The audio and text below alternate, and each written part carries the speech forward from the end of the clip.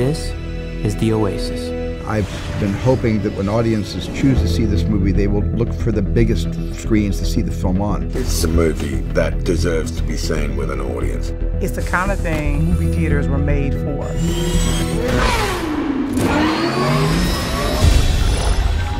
We filled the big screen from corner to corner because that will make them feel like they are in the world of virtual reality. It'll bond them with the characters who are living in the oasis.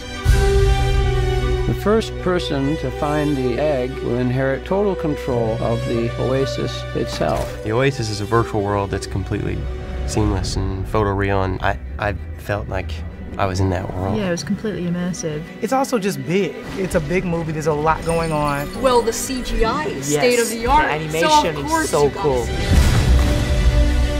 You have a T-Rex and Kong in the same scene. Like no one would tell you to watch Jurassic Park on your phone.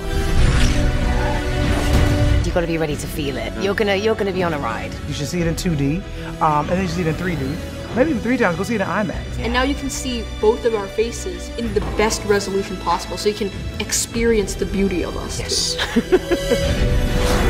Are you willing to fight?